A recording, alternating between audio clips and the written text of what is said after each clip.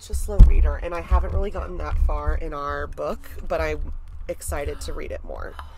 I heard. Did you finish it? Yeah. No way! I didn't have Wi-Fi one night, and I stayed up till like two or three in the morning. so it's really good. It's good, yeah. My Gosh, I can't believe you finished it. Yeah. I'm still probably on like the first section. I saved Maybe chapter three or four.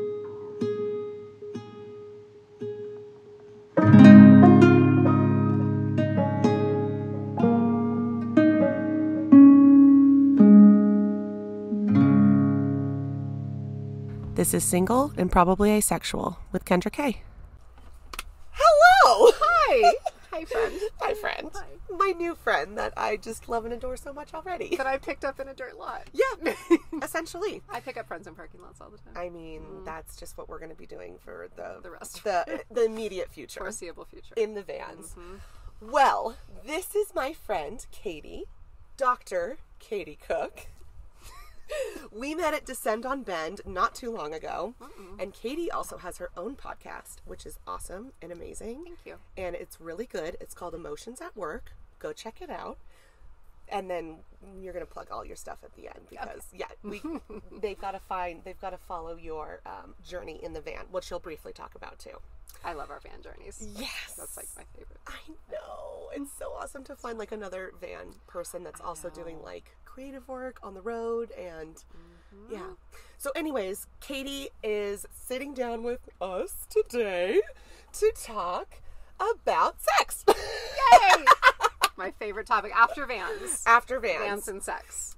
But we will let you know why we are talking mostly about sex and just from a standpoint of we are both so different in that mm-hmm. way. So I'm super excited about this conversation. Me too. And like to see where we both sit at certain topics and such. Yeah, it's going to be really good. So yeah. I'm going to let Katy introduce herself, tell us what you do, your job, and your van. And yeah, and then we're just going to jump into it. Okay, that sounds good. Um, so my name's Katy. I am a psychologist. Um, I let's see. I'm a former expat. I lived abroad for a long time in the UK. Got my doctorate over there. I I came home actually to write my first book, so I got a book deal. But London's so expensive; like the rent is insane there. So I so that's why you came back was to write the book. yeah, so I got my book deal and I was like, I want to do this, but I'm working full time. I know I'll never finish it if I'm here. Rent is like Right. ungodly. So came home where it was a little more affordable, wrote the book, um, and then started working for myself. So I've been working for myself for four years now, almost. Almost four years now. Yeah, so that's been good. And I do consulting and coaching. Um, and training around mental health and well-being mostly for organizations some personal stuff too like i run support groups now recently and um, yeah i love it anything mental health related is kind of my jam and then the reason i ended up in the van Betty. was betty who's Yes. parked right next door we're staring at her um, Betty and- and Dee Dee here together with Katy and Kendra and Fig and Zeke. and you can see we have pairs of everything it's like yeah. it's like an ark It is. It is. Yeah, two two of everything. And we do this thing always. You guys can't see it right now, unfortunately, but like we park our vans so like our sliding doors are facing each other. and We can just like hop back between the two. Easy access. so great. Yeah, it's really awesome. Um, so yeah, so the van arose because I wanted to write another book on the psychology of America, and I wanted to do it while I was like actually roaming around America, In America, researching, and talking to people. So I, the loose plan is to spend a year in the van doing research on mental health and well-being and psychology in America, and then I don't know Hole up in a place and then write that book. exactly. Which you said you have a location in California that you're going to stay at and then just I mean, I think so. So last time I wrote um, in Oakland, up in the hills, and then this time I might try to drag all you guys to Mexico. So we we don't know yet. That's right, Yeah. because you're going to write it. You're going to start it around January, February 2023. yeah, exactly. God, that sounds so far away, but it's not. But it's not. I am so curious to also see if you're going to like love van life so much to the point where you're just going to continue to live in it. I know. Because a year, I mean, a year for me went by like like that. I can It's- snap. it, went, it went by like that. yeah, no, it's Yeah. so fast, and like it's so like we talk about time a lot. You and I, right? Like how time is so weird when you're out of your routine and like doing different things every day and Yeah. having to like watch your avocados slowly mature. You when it's quite the opposite when you're in a home and you have to throw away seven avocados at once. Yeah, and there's like a theory. I forget the name of it now, but I looked it up after we were talking about this about like how time goes so slow Yeah. when you're in new situations because like it's like stretched Mm. and you're having to take in so much stimuli, almost like when you're a little kid Right. and like time seems so slow because everything's like new. Yeah. And you're like having to make sense of it. Whereas like when you're in your routine doing your you life, don't think about it. No. Because you're like, I know what to do. I know what to do in work. I get up. I go to the bathroom. I brush my teeth. Yeah, I love that. you're on your loop like in Westworld. Like they're just on their loops. Oh gosh, such a great show. Yeah. So. Wow. So yeah, so that is the van plan, and I might love it, and I might stay longer, Yeah. or just I don't know. We'll see. If I'm a No good plan. enough caravan buddy, I'm sure I can convince you to at least go through 2023. I mean, watching you guys do this is like, I mean, that's it's just it's the cutest. Yeah. You guys are such good travel buddies, and Aw. Fig is Fig is not quite as fun as Zeke is, mm. but she's she's a pretty good fuzzy. She's pretty easy. she's easy. Yeah. she's low maintenance. I don't think sure. she loves it, but I don't think she hates it. I don't think she loves anything. She's a cat. Yeah. Like cats are Yeah. just the. Oh my god, I love that. And yeah, to preface again, Katy and I are we're in our vans, we're parked side by side. We're in a parking lot. It's pretty quiet, but I also have Zeke behind me. If anybody knows my dog, he has a mind of his own and is very spoiled, so he'll do what he wants. So if he barks, I apologize in advance. But he's being very cute right now and just laying on the bed after he gave Katy a whole bunch of love and yeah. We got our love out of our system. Got our Zeke, love out of our Zeke and I have a similar attachment style, which we might touch on. maybe We're later. definitely going to touch on, Yeah. and yes, he very much. he's literally staring at Katy right now, and he knows he cannot go close. We're checking in to make sure we still love each other. Yeah, Yes. we're good. Oh my gosh. Okay, so your work, psychologist, not psychiatrist. Whoops, excuse me, Correct. Because psychiatrist prescribes medication to those who need it, Yes. and then your area of psychology, which you told me today. Which I really love because I feel like I've never really heard this before, or the therapist slash psychologist that I've always seen in the past specialize in family, you know, relationships, or for me, when I started therapy, it was like young adults, teens, Yeah. teen therapist, young adult therapist. But your um, work is the psychology of progress, Mm-hmm. which I love because I, I mean, life is just a whole big progress thing, and it's not like you can go from point A to point B in like a day or even a year Yeah. uh, depending on what you're going through or what trauma you're trying to like process or heal from. So tell me just Mm-hmm. more about the psychology of progress. I had to look back at my notes there for a second. Yeah, no, you're totally right. So, like, I grew up going to marriage and family therapists and stuff, like, since I started therapy when I was like seven. And, like, usually they have a particular, like, bent, right? Like, trauma or kids or divorce or whatever, right? Like, there's a Right. specialty. Um, so, this is kind of a niche. And most psychologists, you should, like, when you get your PhD, you usually go one of two ways. Like, you become a licensed practitioner and you work one on one or in groups or whatever with people helping them or you go into academia. So those are kind of usually the two branches and i didn't want to do either of those two things. Yes. Um, i wanted to write i wanted to kind of look at big social issues and because my my dissertation was on kind of exactly what you said like how we get from point a to point b and what that looks like for us and like that can be it's different for everybody obviously um, depending on the issues and the tools you have at hand and all that kind of stuff. But um, basically any kind of progress whether it's individual whether it's an organization which is kind of what i do at work or whether it's you know world and co- social and cultural progress has three parts. So you start with like an awareness of a problem right? So say like climate change or whatever. Yeah. and you go oh shit like we we have to work on this. Or like say it's trauma and like you recognize you're having the same relationship patterns over and over again. Mm-hmm. And you're like oh shit i got to deal with this. So you start mm-hmm. doing this next piece which is like integration before you can get to the like behavioral piece where you're like okay this is what i actually have to do to make things change. And so the mm-hmm. integration piece is really really important. So like you look at like what would actually help where are you at why are you like that or you know why is the world set up in this way So like it's kind of like recognition. it's all like the yeah so you you recognize and are aware of what's going on first and then you kind of have this piece where you really try to figure it out and that might involve like research or Mm-hmm. um kind of like internal reckoning with stuff, looking back on your past, looking at your patterns, going to a therapist, talking about it. Yeah. Um, if it's a social issue, it's obviously different, right? Because this happens on like a grander scale. right. Um, the integration piece when you're looking at societies is super messy and super long and super difficult, and I think yeah. that's why we get so disheartened about social progress is because it takes a really long time, whereas individual progress can obviously be done in like a But shorter you span. were more interested in that the social progress of which is why you started your first book and why you're doing your second book. Yeah. Yeah. Exactly. And that's like a lot. That's a big undertaking. Yeah, and it's fun, right? And you like different people kind of chip away at it over time. Right. Um, so you build your work on like the back of other people's amazing stuff, and then other people take it up and keep figuring it out. And yeah. but yeah, it's been really neat. So I'm looking at like the mental health of the country and why it is that way, and how that relates to things like individualism specifically and mm-hmm. inequality specifically, Yeah.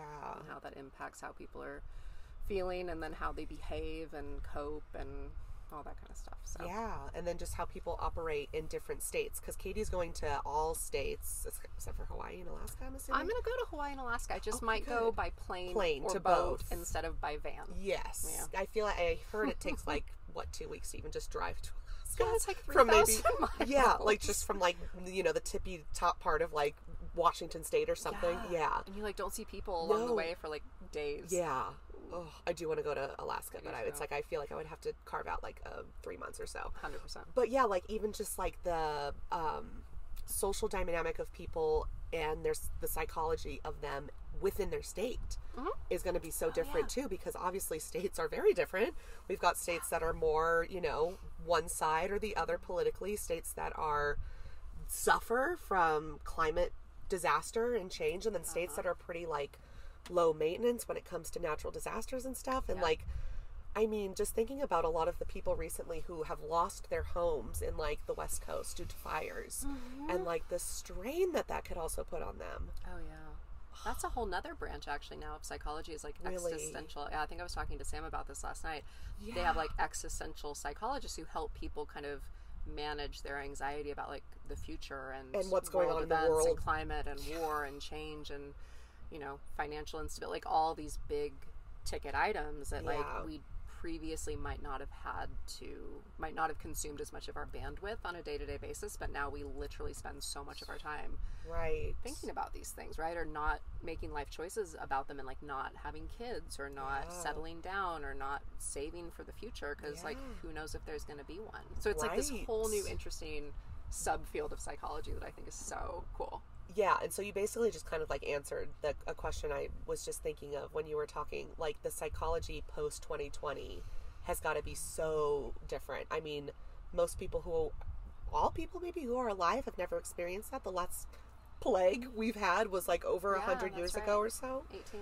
Yeah. So that's like, I mean, just, yeah, psychology just post this pandemic and especially in America when we had so much like social justice happening and Yeah, Yeah, I didn't even think about the pandemic piece, but yeah, that's huge too, right? Of course, like, remember Corona? we're kind of we're kind of still doing kind it. of still in it. I know people who are still getting sick today. Right. Yeah. and like you, you just become, I guess, accustomed to it and kind of right. manage it. But yeah, that's a whole nother thing is like future, you know, Yeah. global pandemics. Or, Right. Yeah, there's so Ugh. much, so much to worry about. So much but also to so worry much about. to like be excited about True. and grateful for. For sure. Mm-hmm. Yeah, I'm, I'm going to be really interested to read your book. Oh, you. because I've already been with slash near you when you've had interviews and you tell me about some of them briefly and just it's going to be so interesting to hear the viewpoints of people and I think especially post 2020 because like people may have lost their jobs and it wasn't their decision or it wasn't their choice and just how much strain that puts on people especially when it is so expensive to just live Live. yeah Yeah.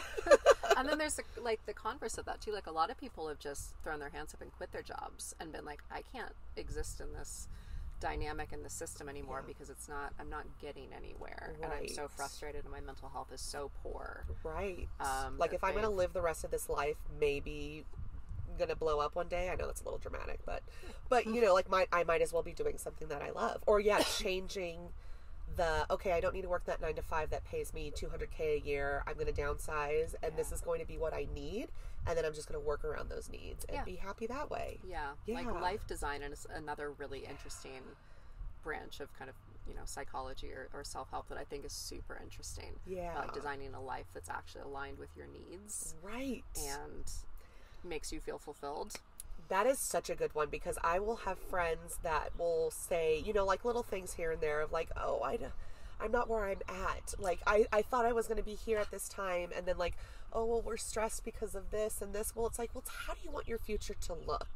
Like, are we stressing about income and money because you need to portray a certain way on social media mm-hmm. or just like within yourself, like you think that's what you need? Or is it other stress? Like, yeah, it's that is so fascinating. But it is also hard to look ahead, and Yeah. looking ahead can be scary. Yeah, 100%.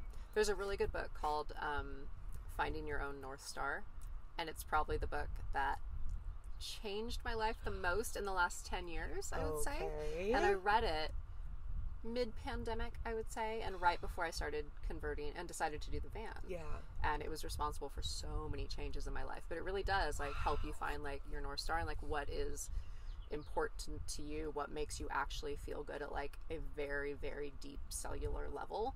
And breaks down the differences between like what she calls it's by Martha Beck. I was just gonna ask. Perfect, Martha Beck, mm-hmm. Beck, finding your North Star. Yeah, I think she's like a former Harvard psychologist or something, or I don't know, professor. And she breaks it down between like your essential self, so like what is essential to you feels true, feels right, and your social self, and what you're talking about, and all the things that you feel like you should do or where you should be, or like, you know, the job maybe your parents made you feel like you should have, or whatever, right. the Or relationship. pressures of where are you at?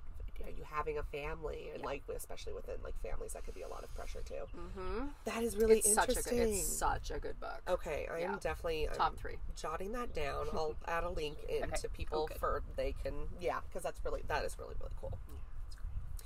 Okay, on to sex. Okay. yes. One of my favorite topics. okay so uh, we i katy when i are we're sitting and having this conversation in the first place because when i met katy i was in the process of getting my podcast together and she was like oh my gosh well i have a podcast. And so you know we naturally just started talking about it and i told her about my podcast and you were basically like that is really interesting and from someone who myself is like haven't had sex in like seven years like i just don't do it.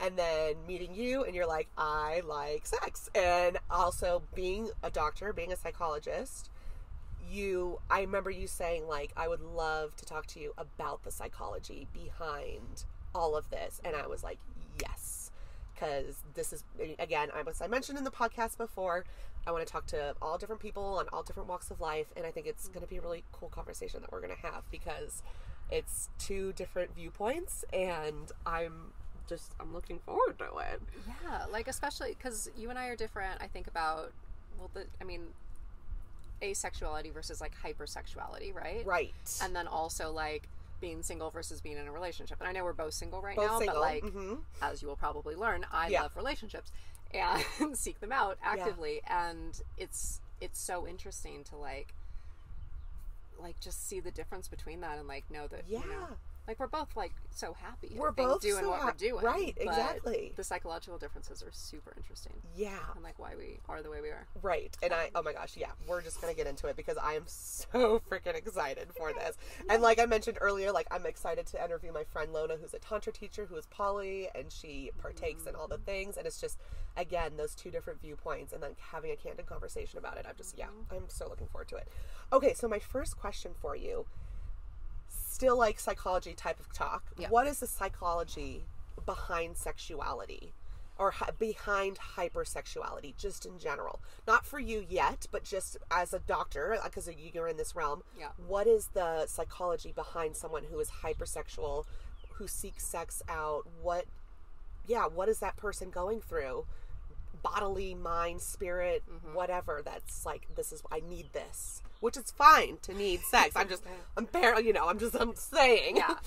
just because i'm not having sex doesn't mean that anybody else can't have sex Right, and just because I love sex and want to have it all the time doesn't Right. mean that I think anyone, you know, shouldn't or like whatever. Like, Right, I no, yeah. whatever works for if you can have sex every day and that's what you want to do, frickin' do it. hundred percent. Yeah. Or if you don't want to have sex for seven years like me, frickin' do, Do it. it. I- it's whatever. Yeah. Do what feels good. Exactly. Um, so I let's see. Um, so I should probably start by saying this is not my area of expertise, right? Okay. Like I've never. well, we're ending the podcast right now.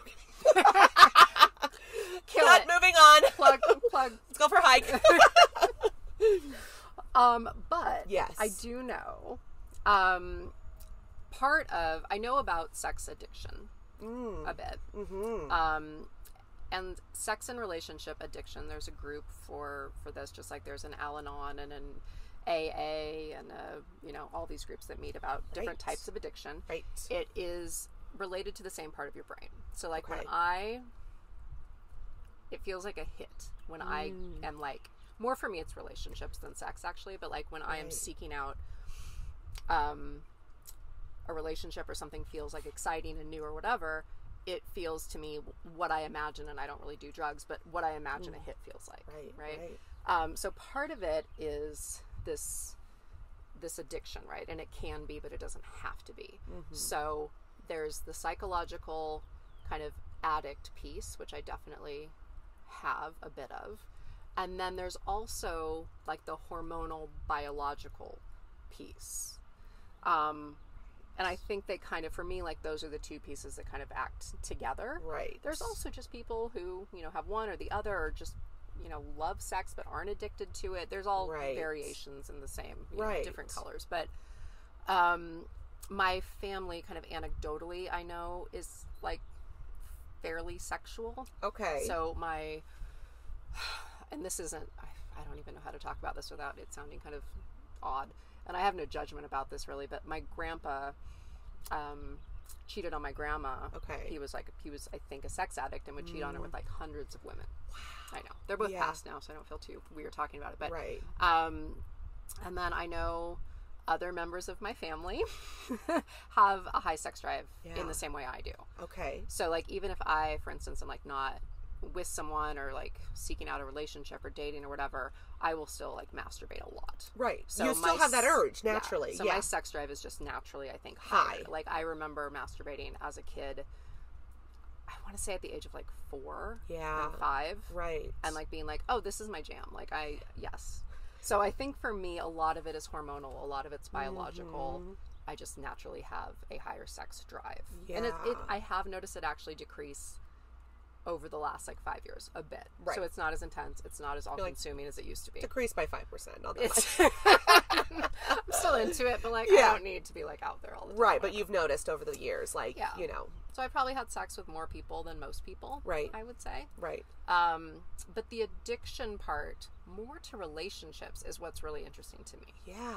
And I think that's where like the psychology piece and like what has shaped you and what's happened to you and what your childhood was like, kind of, and the mm-hmm. messaging you got around mm-hmm. relationships and around yourself and worth and all that kind of stuff becomes like really important and interesting to kind of tease out like okay well what is just like natural? What do i want because i'm a woman and i have needs and i want to fulfill them? And what is like me you know trying to fill something in a maybe unhealthy way? Right. Interesting. So, essentially, for those who, and not just yourself, but as a psychologist, when you look at people who have sex addiction, addiction, sex addiction, addiction, or who are hypersexual, it is. It's, it's it's what you said. It's like it's like an addiction. It's like someone who's addicted, like an alcoholic, or someone who mm-hmm. is on drugs, or Yeah. anything like that. It's just kind of like there's this little thing in your brain or mm-hmm. like like patterns or habits that you've just have stayed with you for a long long time. Yeah. It's just kind of just sticks there. Yeah. And like you said that that like dopamine hit, that high. yeah Yeah. and that's why like the 12 step programs for all of those things whether it's um, sex alcohol drugs love relationships whatever Mm-hmm. why all the programs work the same and are modeled the same because the addictive nature of wanting those things is very very like cognitively and behaviorally similar Right. yeah. so it's a different thing that you're searching out Yeah. but it's the same receptors in your brain that are getting Right. hit. Like the same process that someone who is a sex addict versus someone who is like an alcoholic, like they go through the same things, but their vice is just something totally different. Someone likes to drink Yeah. and someone likes to Right. And some will have obviously like if you're like a heavy smoke like drug addict or user or whatever, like your withdrawal symptoms will be different because like the chemicals in your body are gonna be harder to to withdraw from. It'll be just you know a different nature if you're like in withdrawal from not having sex for four months like I've been. right. Just kidding. I'm not having withdrawal symptoms, but Not at all. it has been it has been four months, and that does feel like a long time. Really? Yeah. Oh my gosh. Oh yeah, that's right. Mm-hmm. you know. I know. I know. remember? I know. That yeah, that didn't that didn't happen that one time. Yeah, got it. Got it. Oh my gosh. Okay, yeah, that is just that is so fascinating. And it's yeah, I didn't even realize and think about how someone who is just like I may, could be even just addicted to smoking cigarettes. Like Yeah. how that is like a similar thing to people and it, it's an addiction. It's something that Yeah. I mean, as you know, as long as you're not doing it in in a way that people seek out AA and help when it's like, okay, this is mm-hmm. extremely affecting my life. You wanting to have sex, it's not affecting your life. You're just like, this is what I do. It's it's healthy, it's natural, it's normal. Right. Yeah. But I think there's a tipping point too where you know that like you're doing it maybe like for the wrong reasons, and I think that's where the relationship part comes in Mm-hmm. a little bit more. Right. Because sex is just an act, right? It's like the relationship between the two people that is actually like interesting and laced with like emotions and feelings and kind of like a backstory, probably. Yeah. Like why why you're doing that, Right. why you want like to connect with someone in right. that way. Right. I feel like that's how I operate because I'm demisexual. I'm probably asexual, which is like the title of the podcast. But being demisexual, I need to have like an emotional connection with someone in order to like even feel things within myself. Yeah. But I feel like I never shame anybody for doing anything, but I've never had a one night stand because I just don't think I could ever do it. Mm. I could probably sleep with someone if I like developed, you know, feelings and like a connection over like maybe you know at least a decent course of time. It could still be like relatively short in some people's eyes, but um the like the one night stand thing, I just don't I there's something in my brain that's just like this isn't enough time to connect with somebody and like and I need that. Yeah. Yeah. And I think that is like what everybody kind of wants too, right? Like everyone, for the most part, wants to deep, deep down, Right. Like feel loved, feel seen, feel heard, feel connected, and then ideally, maybe like sex is a like a result of, of that, or Right. a, you know, like an offshoot of that. I don't know, but yeah. Yeah. Mm-hmm. So fascinating. Mm-hmm. So you identify as being hypersexual. You're not a sex addict, but you're like probably a little hypersexual. correct. Yeah. I'm not a sex addict. I've never actually been to a group um, for love Mm-hmm. and sex addicts, but I know. Um, Love addicts, yeah. yeah, love addicts. Wow. Mhm. I identify more as a love addict than a sex Yeah, addict. I yeah. say. Because you were saying that you you you want that relationship. That yeah, Yeah, The and con- I think that's exactly like, and you can do it in different ways, right? We can Right. talk about attachment styles and whatever, but like, I think historically I have done relationships in not super healthy ways all the time, mm-hmm. and that was partly because I didn't have a great role set of role models, yeah, so I didn't know what I was doing. right. And part of it is figuring it out, and just you know that takes time, Time. and iterations Yeah. and practice. And yeah, um, I think I'm I think I'm getting there. yeah, for Yeah. sure. So, I mean, my next question, um, I have it on my phone, but it's kind of long, so I'm going to try and like paraphrase in a way. And I know you kind of like talked about this a little bit, but for you personally, you always you touched on your grandpa and a couple other people in your family. But what do you feel for you personally has got you to this point today where you are someone who's hypersexual? Is it the family background? Do you think it's the what like what is it for you? It's like a very broad question because it's it's things added up over time. It could have been something that happened a year ago that you're like, oh, well, this is also is like included in my journey of why I like to have sex. Yeah, and you're, I mean, part of it is really basic too, right? Yeah. Like sex feels good right for me. Right. Um, but I think I was thinking about this this morning when I knew we were gonna chat this afternoon, and I was like, what? Like, when I'm thinking about my family and like that we're all kind of like this in a way, like what is that? And then I was thinking about intergenerational trauma and like how things get passed down. And sometimes that is like hormonal and biological, and that could be Right. all that it is. I don't know. Purely genetics. That's it could be. Yeah. Yeah. Or a And- fraction of it could be. Or part of it could be something more that like is, you know, unhealed or untapped or unexamined, like within my family lineage, Not just from you, but yeah, like Right. ancestors, Right. even going that far. Yeah. But I think for me, like the main reason I have a love addiction. Mm-hmm. I don't think I've ever said it like that before. I that feels it. really weird. Addicted Um, to love. we need a song in the background. yeah, yeah, yeah. Um, is because of the way I was raised. So I was raised by someone who was very withholding of love. Um, so my dad was an addict and an alcoholic, and not hypersexual to my knowledge. Right. Um, so that did, definitely didn't like come from him, but um, he was really abusive and really. My childhood was really scary, yeah. and he was super, like, let's see, emotionally abusive, verbally abusive, never physically abusive, but very neglectful. So I would say neglect was like my main form of abuse. Like I would get locked in cars for like eight hours, ten hours, and just like oh, abandoned no. or like have to deal with him when he was like high and I was eight or yeah. yeah, right on the back of motorcycles when he was drunk. Like all this like really scary stuff as a kid, and then just you know screamed at, yelled at, like berated. Yeah. Like nothing I ever did was like good enough. So I think all of that kind of set me up like this really complicated relationship with my dad. Mm-hmm. Um, and he said he loved me all the time, so it was also like super confusing because his words and like his behaviors like don't match, match right? So I just think like okay, like love then like relationships are when you're kind of chasing after something. Like this feels Mm-hmm. familiar. Like I'm trying to constantly like be okay for him, like like I don't what's the word I'm looking for? Kind of like shape shift almost to like be this person who is like lovable. Yeah. Um, and so I think, like, into my adulthood, not that I've sought out abusive people by any stretch. Like, I seek out, like, the nicest guys. yes. But I'm constantly, like, putting myself in positions where I have to chase things and not necessarily get, like, the outcome that I want.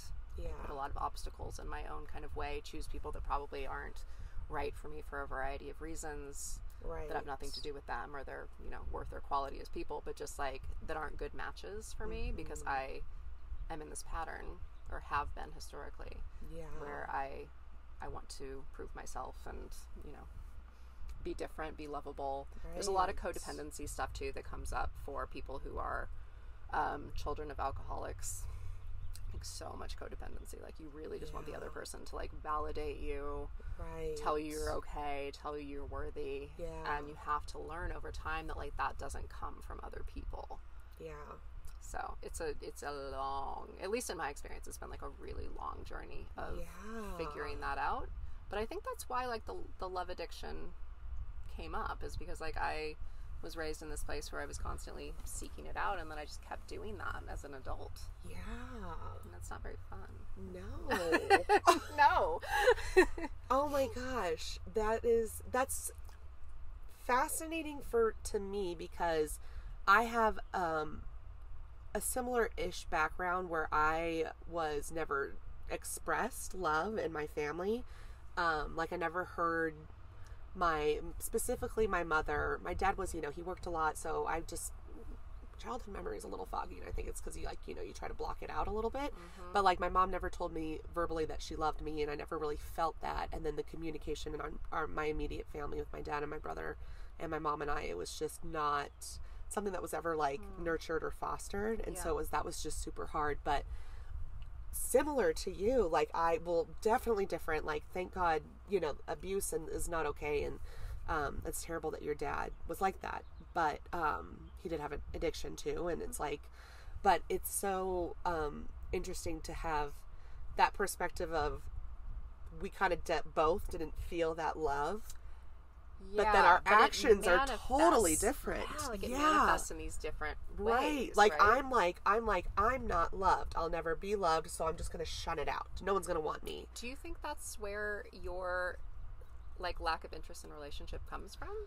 I think so. And my family is my mom and I, my dad have been together for 33 years and they were never ever they never like showed affection towards each other.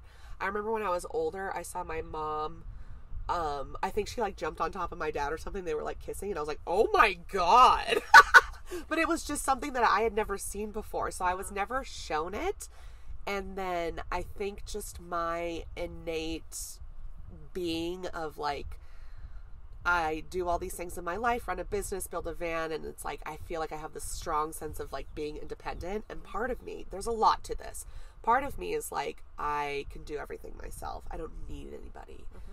Part of me also is like if I ever do get in a relationship, what is my role in this relationship? If I'm with a man, do I have to be like this submissive woman, which I know that's like not the case for relationships, but like, do I have to play this role that's also like feminine or like, is this person gonna want to bring in the bacon, so to speak, and like have me? It's because it's like I love my job, I love to work, I love to explore.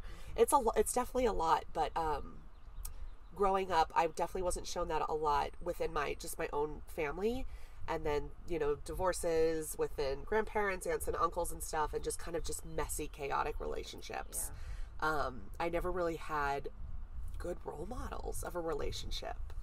Yeah and then that added of the me just not feeling loved and then going through depression insanely as a teen and trying to work on this when my mother was doing her best to just work with me and i was it, yeah it was it's a lot of things that add up but yeah. So what's wrong with me? No, I don't know what's wrong with me. nothing! Nothing. nothing. Nothing, nothing's wrong with us. Um, but it, it is like those those things you learn in childhood, like shape you so much. I had one psychologist friend describe it to me, or a marriage and family therapist friend describe it to me as like like people are like trees, right? And you're like shaped by the weather around you and like the soil that you like grow in and like that could mean you you know are stable and straight up and leafy and green or that could mean you are like weathered as all hell and you don't have the ner- the proper nutrients to grow Right, Yeah. right, right. So I think like everyone and you can have identical circumstances too and end up totally like different, right? Like I see that all the time from people who are experience abuse or like hard childhoods or or whatever and they they have such different reactions to it because we're all like, we mm. have such different little personalities and you know innate ways of dealing with things and coping Yeah. mechanisms and stuff so but mine has definitely been to like chase things that seem unobtainable stuff that you never that- got when you were yeah, growing up. Because yeah. that pattern is familiar. And that's all it is. It's familiarity Right. right? And i don't i cognitively know it's like not healthy i try not to do it anymore i still find myself doing it from time to time Right. especially in my head like before i even get into a relationship i'm like oh is this person like my person we were Like, talking I about that today I had a new one today, guys. Yeah. Oh I my found God, a new yeah. one today that could be my person. Literally, and I'm like, yeah. what is your last name? Like, Disney princess movies Oh, fucked us oh girls, God. Mm. cisgendered girls who were born and like were just shoved Cinderella and you know all these things. It's like it's so so gnarly It and so bad for you. And it is. I wish I had never seen any, any of, of them. Yeah. Yeah. honestly, it's yeah. because that combined with like all the stuff you go through as a kid, like you're you're just setting yourself up for you Right. know, and then yeah, you romanticize. You just look at someone. You can't even like have a conversation. It's like, is that okay? So what Are would our you life Prince like? Yeah. sir? I can me, see sir. us doing this on the weekends, and this is your career. This is my career. We're gonna have do yeah. You want? What's your last name?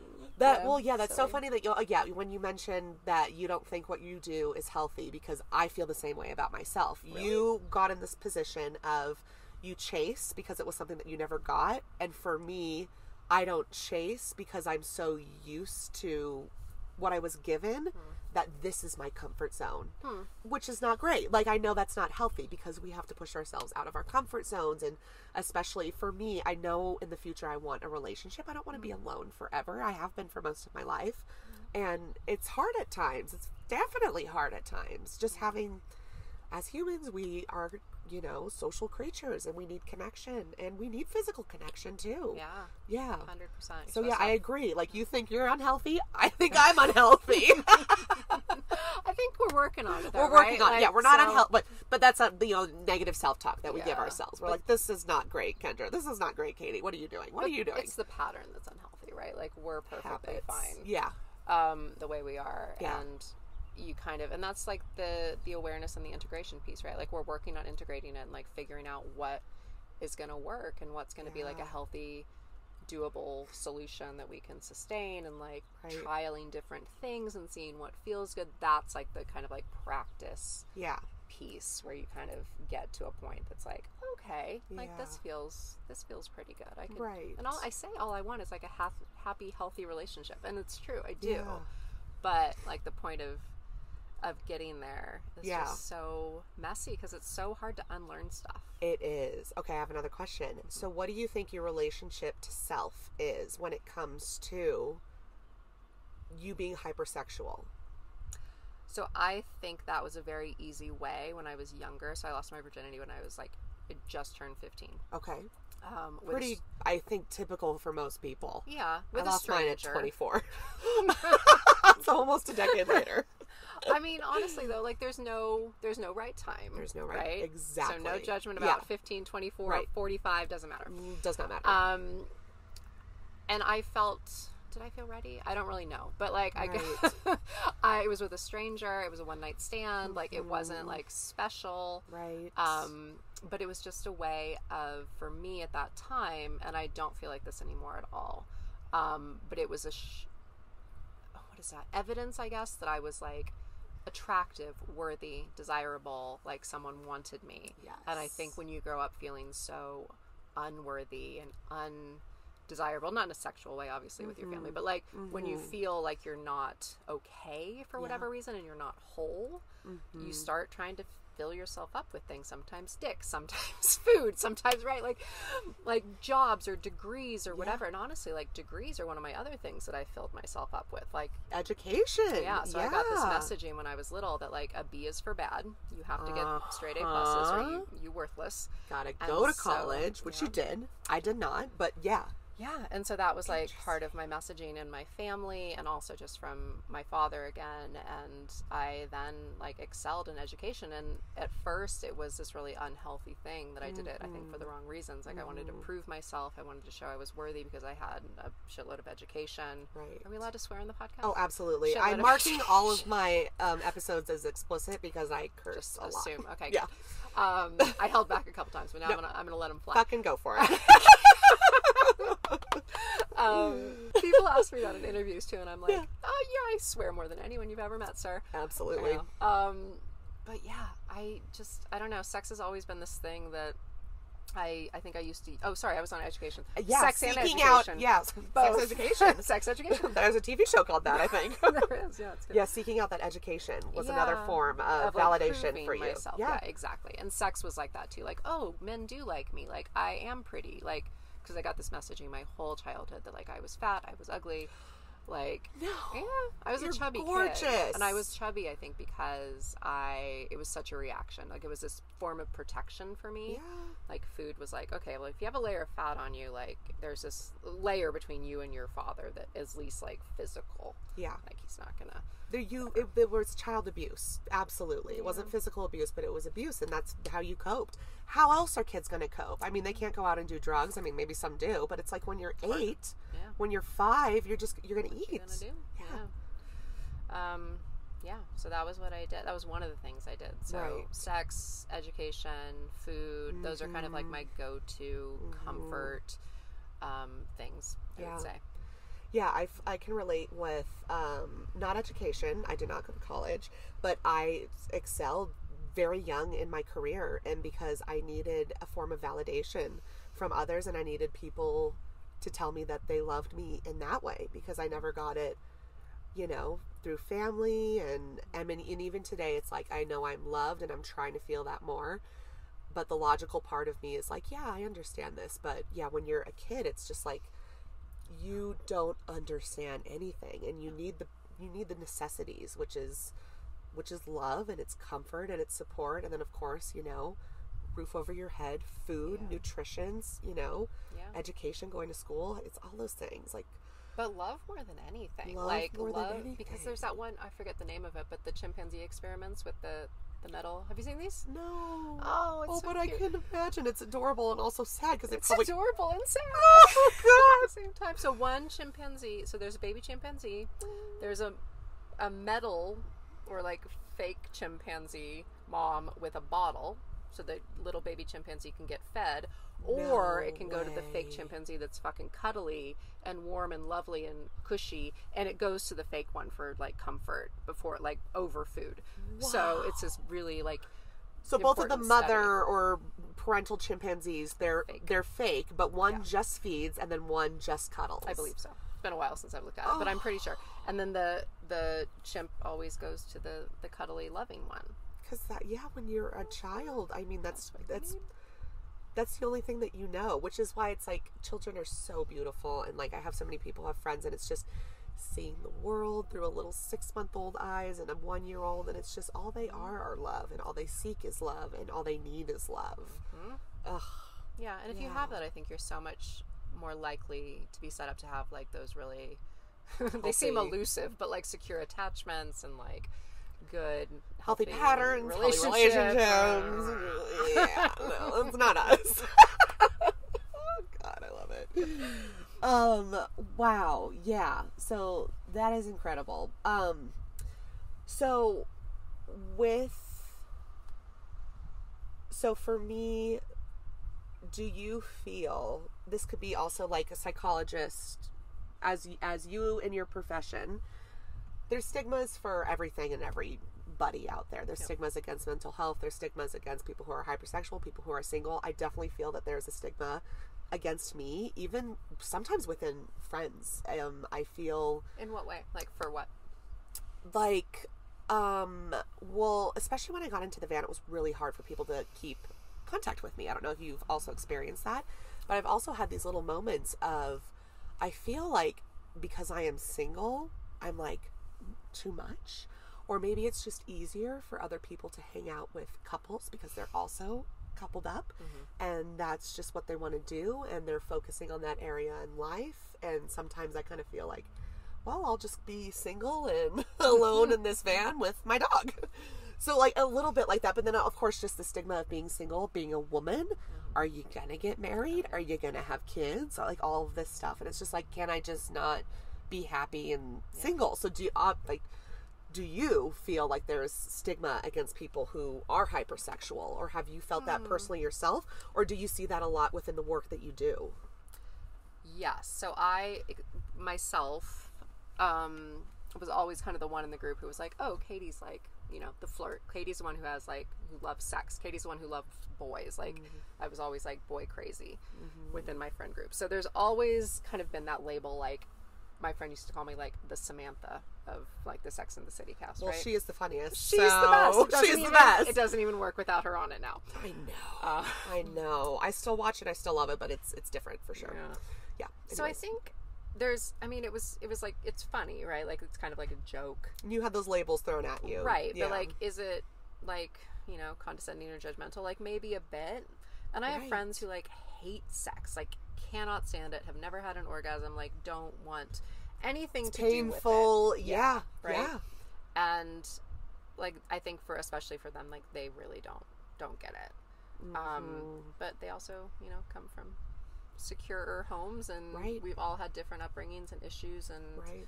different different ways of kind of addressing the world and Yeah. yeah it's hard to understand something that you haven't experienced for sure but i think Absolutely. like conversations like this are probably like really helpful right like i'm really interested to listen to the pansexual one because i've never heard that talked about before Yeah. ever yeah. and even like demisexuality like i knew what it was but i Right. have never like dug into that much Yeah. and asexuality too Yeah. Yeah. Yeah. Oh my gosh, yeah. That's and again, that's like it's a reason why I'm so excited to do this podcast is to get those different perspectives from people who identify a different way, who operate in a different way, who chemically their brain and body tells them they have to do this, and the others their brain and body tells them to do this. But yeah, Yuki's um, episode is very interesting because she um, she was I think yeah initially she was straight and then she was bi and then I was talking with Yuki and another friend um, today my tantra friend who I'm going to do an episode with um, who was also bi. And she was saying listening to your guys' episode and Yuki talking about it she was kind of like thinking about her own label again because I feel like pansexuality mm. is like kind of a branch of being bisexual. Hmm. Because bisexual is like you're attracted to both sexes, but mm-hmm. pan is just like you're attracted to anybody. So if that mm-hmm. person doesn't have a sex, they are they identify as non-binary or they're a mm-hmm. trans man or a trans woman or just trans and they're they're just you know so yeah it's so fascinating That's interesting. it's so like that. fascinating yeah Yeah, and that seems much more like easy breezy, inclusive, like non. Very e- even though it's a label, it's like you kind Right. of start getting rid of labels and breaking them down a little bit with something like pansexuality, which I really appreciate because I've been with women too, not a lot, but like a little. yeah And I love women. I think women are beautiful. right Um, yeah Energetically wise, like I really like masculine energy for my relationships. right But um, yeah, sex wise, I think women are, are lovely. Yeah. Yeah, I think it'd be a cool episode to do down the future of um, talking about maybe the differences or the stark similarities, but- or stark differences or the, you know, clear similarities between bisexual and pansexual. Yeah. Because it's, yeah, it's, yeah, fascinating. Yeah, though. even like an episode like a breakdown of like all of them would be really interesting for people who like just Don't you know. don't know. That's a good idea, Katy. I'm going to write that down. Okay. I'm jotting that in the back of my head. um, okay, so let's, we're at like, I think we're at like 55 minutes, Oh which is amazing. God. 51. Well, we've been talking for the last like couple months, so this is easy for us now. let's get into, because I think we can talk about this for at least a solid 30 minutes. We don't have to for, talk for another 30 minutes, but maybe at least attachment styles. Okay. So, first off, again, with your profession, and for those who do not know, can you give us insights on all the different attachment styles? Just a little synopsis description of each of them, what your attachment style is. And then if because I have never there's also that book attachment attached Yes. that a lot of people have been reading a lot of my close friends have recommended it and I've never read it before and I kind of sit here thinking do I have an attachment style so yeah, from Yeah. the top, what are the attachment styles? I think everyone has an attachment style. For sure. Um, and actually, I haven't read Attached, but when we were chatting about it the other night, I realized the labels that I use Mm-hmm. um, to break them down are different than what our friend was using when he was talking about them. So. If you if these don't sound familiar when I when I say them, it's because they're just called something else in a different like Right. branch of looking at it or whatever. Right. You can correct us people Um, yeah, listening. It's you can fine. Just it be nice comments. about it, okay? So the way we learned it in um, in school, when like in my first master's degree when I was doing counseling psychology, is there are secure attachments, yep. which are kind of healthy, mutually. kind of- Those who had a very lovely upbringing. usually yes. They were secure in all different facets of life. Yeah.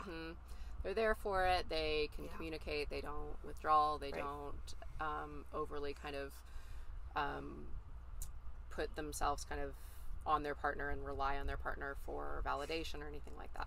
They are secure in themselves and they are secure in the relationship. So that is kind of, you know, the ideal to which I strive. Yes. um, and hope to get someday.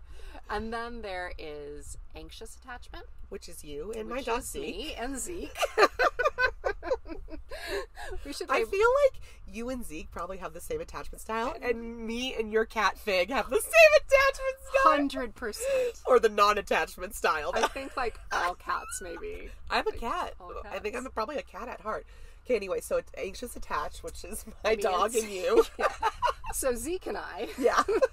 we really we think about our partners when we're in relationships a lot. We want to like make sure they still love us. We want to like make sure they're happy and like we're doing everything okay and like we're scared they're going to leave us. Like are you coming back? Like what do you need? Can I like Yeah. change myself for you? Like it's Yeah. very like anxious, right? Right. And I have anxiety anyway. And so like it kind of correlates. There's that It like makes sense. yeah. So if you don't have an anxious attachment style, but you have had anxiety, you might be able to kind of imagine what it might feel like to have that anxiety just around a relationship.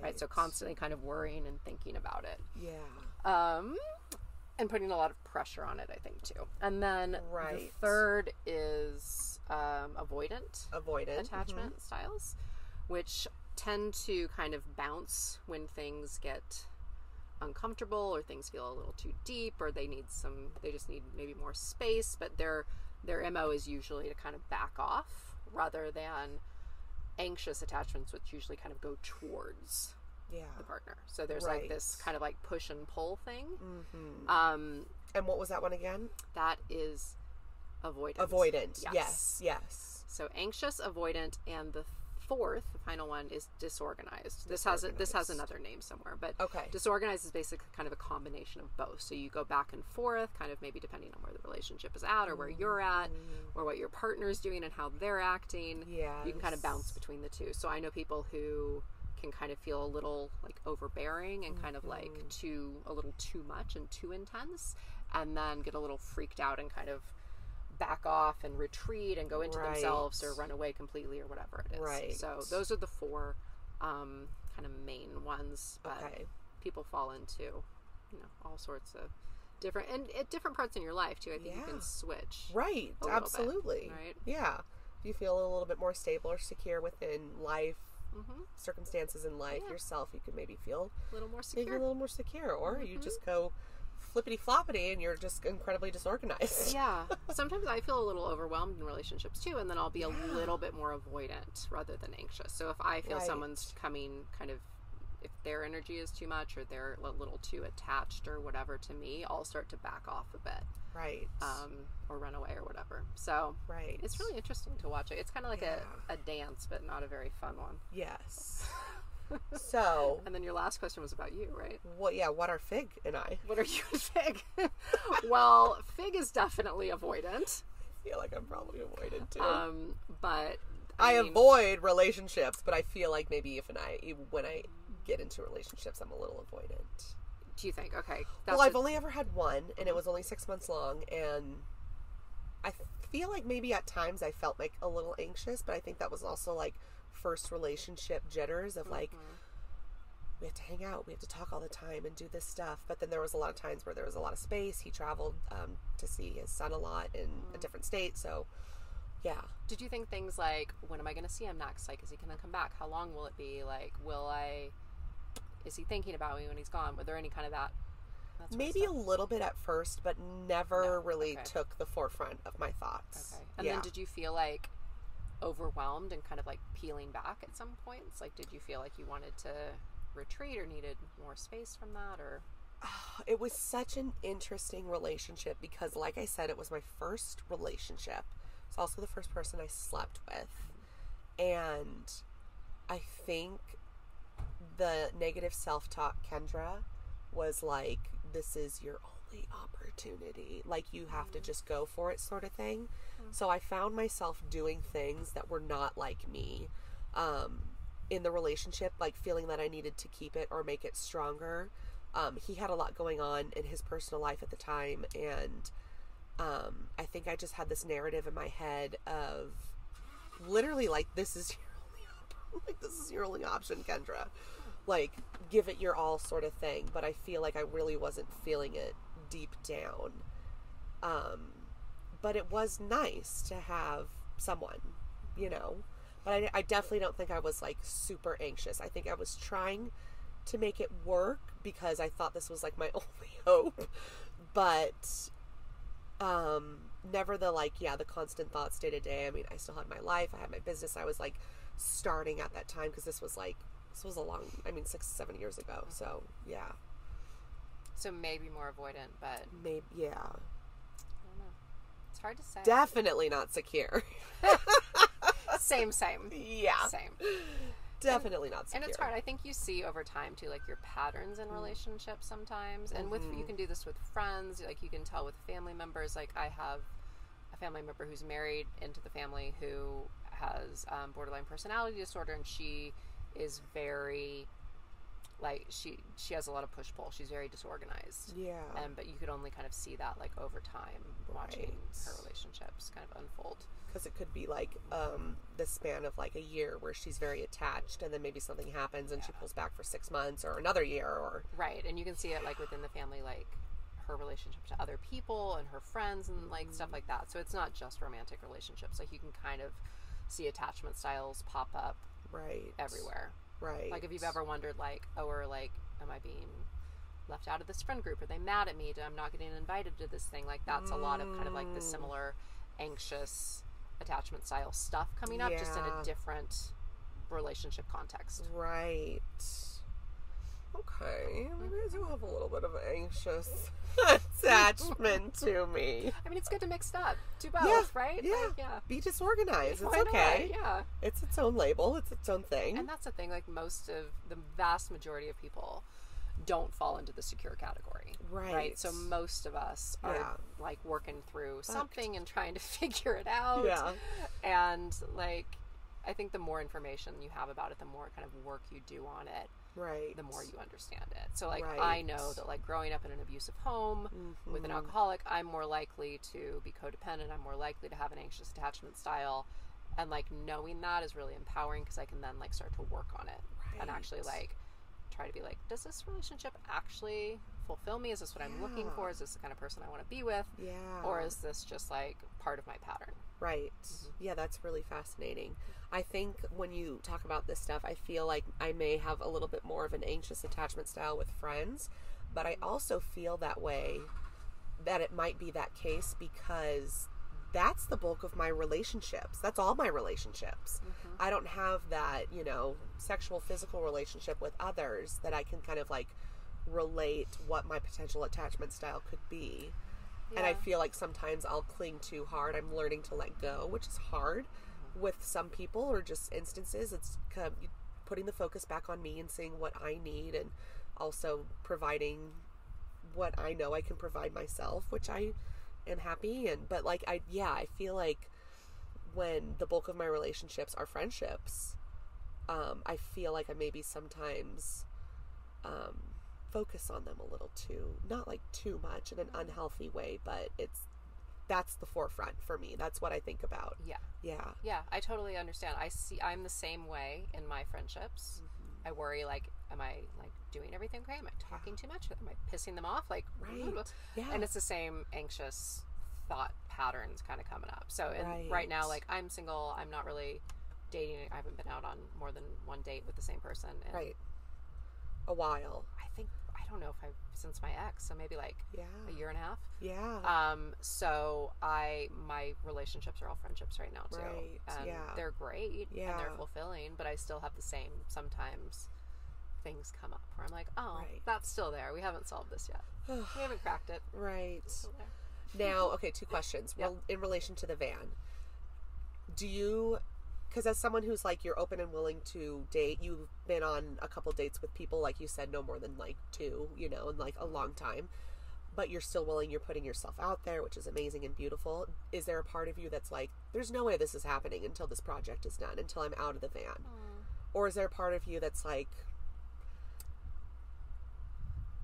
That's a it's a yeah it's a it's a difficult one because part of me is like oh I've been single forever but I'm gonna continue to be single because there's no way I'm gonna try and live in a small vehicle with two people it's not to say that like we would just you know automatically move in like me Yeah. and my future partner but it's also kind of like I don't seek it out because of my current lifestyle Yeah, it's an interesting way. Yeah, it's an interesting way to live and figure out dating for sure. yeah that noise. Yeah. That noise is my feeling. yeah Um, I have learned over time in my life, like not to make any assumptions about how anything is going to play out. yeah Um, I'm Keep not a open. huge. I'm not a huge planner because I feel like if I just feel kind of a. It sounds super like it sounds a little silly, but like if I just feel aligned with the universe and like Mm-hmm. I'm doing my thing and pointing in the right direction and like doing what I find most interesting yeah and engaging and important yeah um, and I'm you know open, willing to. But I'm super happy being single, so I don't Yeah. feel like I need it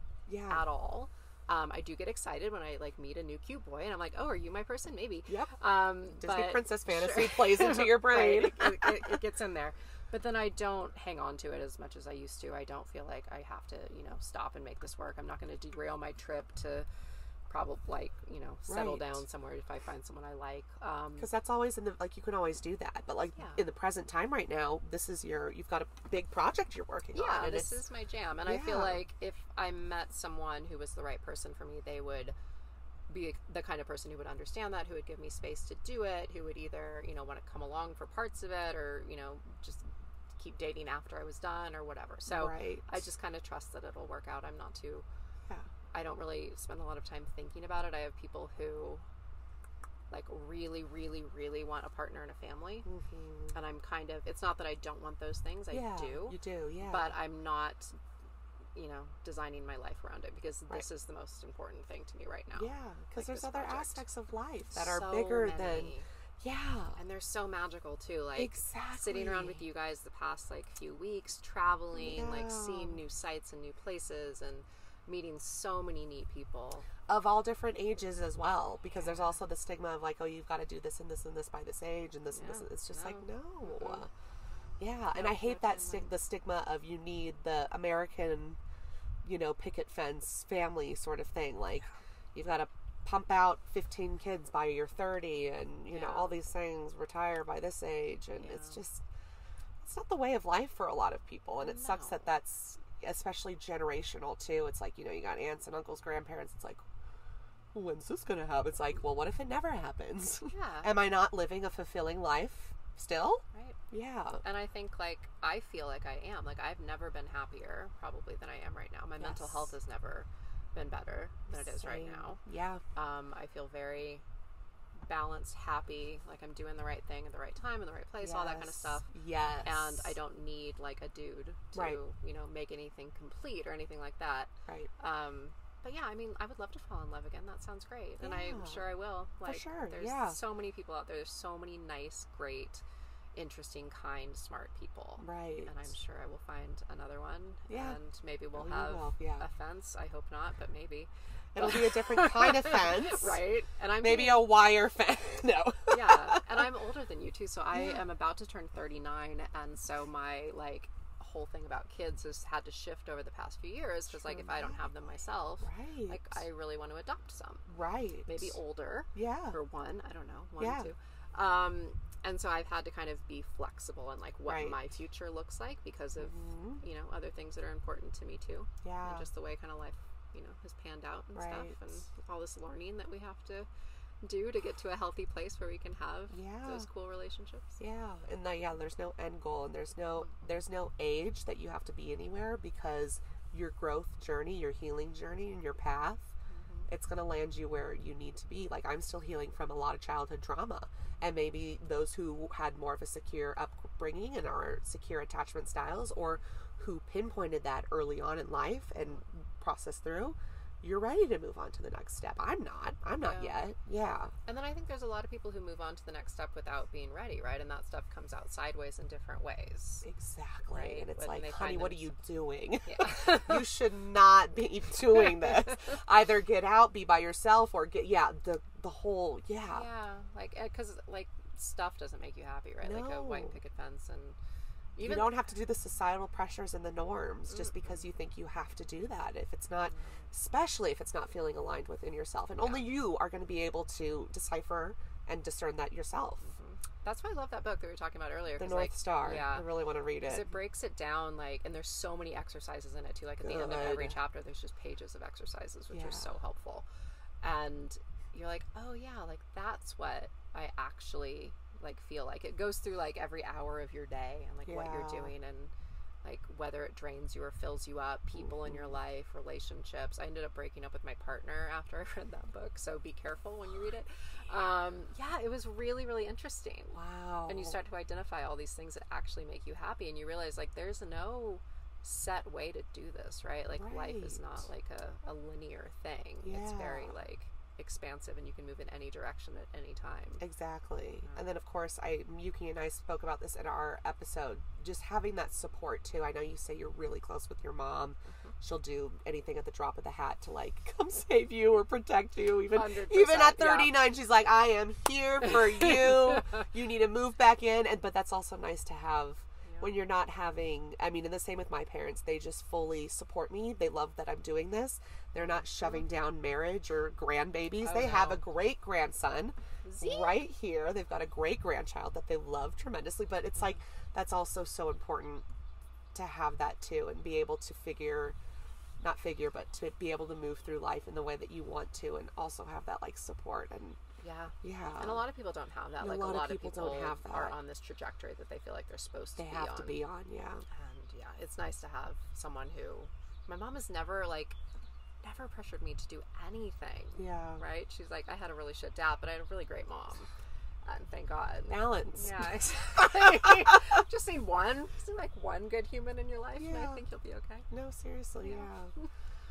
Wow. Okay. Well, I have like a final little question for you. Hit me. Um, just with what we you what we were talking about and all of this stuff, your background, hypersexuality, your past, and everything. Do you have any sort of like advice or guidance for people who feel the same way that you feel in just maybe living more authentically to themselves? Maybe they have shame around their sexuality or wanting to have sex. Like, is there anything you want to tell them? Or I know it's like kind of a loaded, big, broad question, No, I think that's a good question. I um, let me think. to the listeners out there, to the non-asexuals or the asexuals or the pans or To everybody. everybody, Everybody. yeah. Um, do I have any advice? I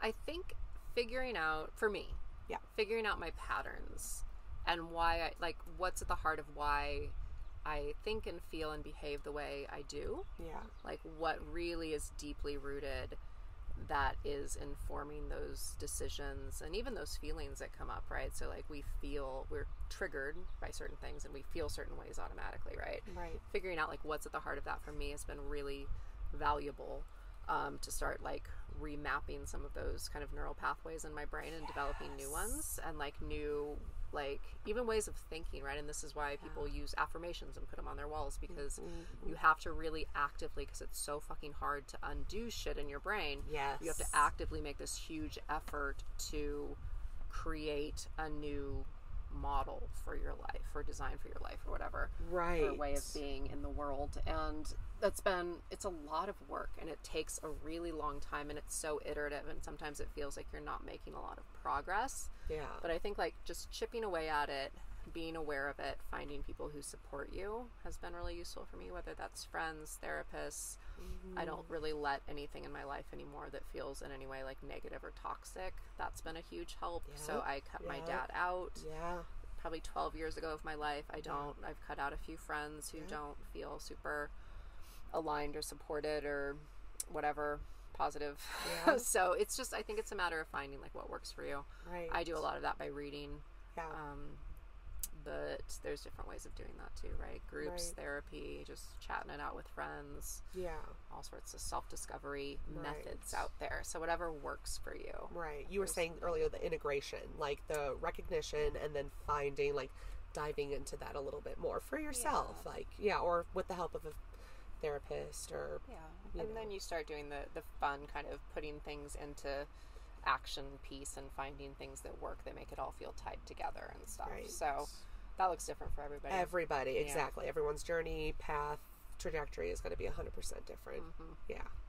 That's good advice. Yeah, realizing the patterns. And God, we didn't even talk about the brain. How oh, the brain. oh the brain the neurological reprogramming and yeah how long that can take like the book that i'm reading the Oh, yeah, that's right. the breaking the habit of being yourself and Mm-hmm. that is hard work it's not just like yeah. oh i've recognized this and i'm going to be better it's like no you the reprogramming is very vital Yeah. but it's probably some of the hardest work that i'm still trying to do i'm trying to curb slash quit a addiction with weed and all of this stuff Mm-hmm. it's yeah it's very difficult Yeah, and I think just like like being really kind to yourself and gentle on yourself while you're doing that too is really Yes. important because it's so easy to you know slip up or not make the progress that you want to make and just quit or get down on yourself or whatever Right. the negative self-talk comes in but yeah yeah i think for for trauma stuff too like for me emdr and biofeedback have both been really helpful so those are two of like the kind of brain reprogramming things that i really love What's EMDR? Can you give a quick little description? eye movement something hold on let me find the thing eye movement and then the other one you said bioactivity, bio, biofeedback biofeedback. yeah so i can put a link i can send you a link for both so people can look them up but yes, um please. I'll put it in the show notes. so my therapist and i started doing emdr let me eye movement desensitization reprocessing Whoa. Yeah, so you have um, like little things on your body where you like there's lights and like you it's it's so you need to do it with a really well trained person. Right. They walk you through memories. You start to think like how that memory makes you feel. You get at the heart of it. You think about an alternative way of thinking about that thing or what could have been how whatever. It's so interesting. And Very so scientific. effective. Yeah. Wow. Yeah. So And how long have you been doing that? Just recently? so I did it a little bit when I was a kid. I had a car Uh-huh. accident when I was 16 where someone passed away, and I did it for three years after that. And then I did it the last couple of years with actually the same therapist, wow. but just you know 20 years later. Yeah, that's awesome that they were they're still practicing. Oh yeah, she's great. We love Oh her. She can never stop. She's never allowed to not. Well, clearly it sounds like she's doing some good work She's in this. great. Wow. we love her. Yeah. Wow, that's incredible. But yeah, they offer it everywhere now. So if you've ever had any kind of traumatic stuff that anyone wants to undo, that is one of the big ones that I would recommend. Wow, that's definitely better than coping with drugs, alcohol, or just sitting and sulking or processing and downward spiraling. That's Yeah. There, science can help you. Can help. Yeah, I mean, I still do a little bit of like the, Right. the, the wine coping sometimes too, but you know, We all, a little bit yeah. of a little bit of healthy stuff, a little bit of vices. Yeah, yeah, yeah. Get there eventually. Oh my gosh! Wow, that is so cool. EMDR. EMDR. Wow. Yeah. Are you liking that book you're reading? Yes, Okay, good. very I'll have much to get so. it from you when you're done. Yes, it'll be a year and a half. Okay, but because I'm the world's slowest reader, We'll be in Mexico on a beach.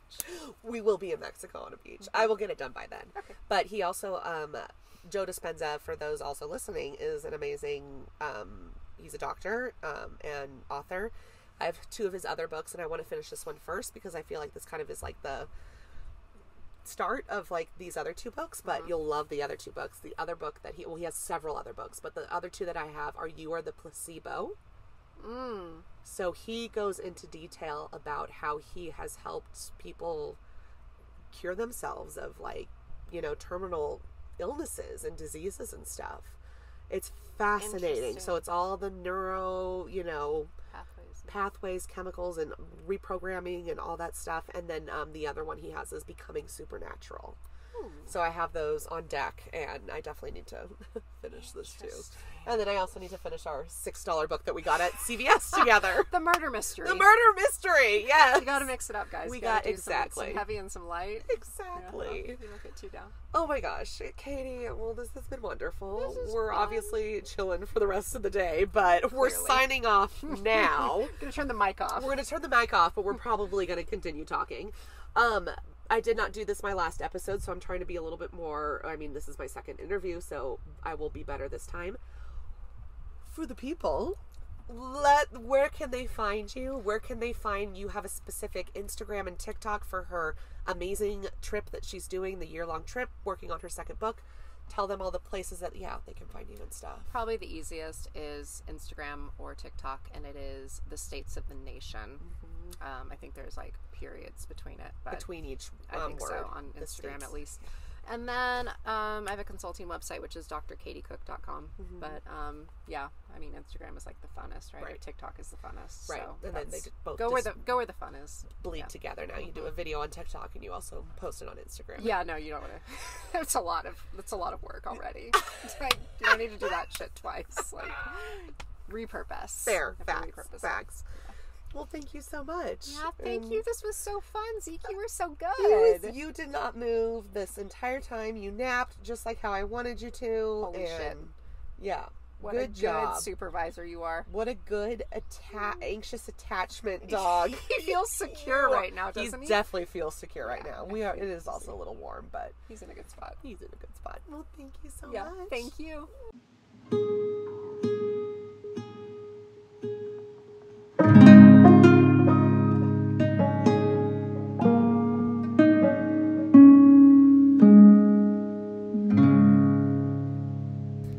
guys so much for being here again. Another episode down and my second interview done.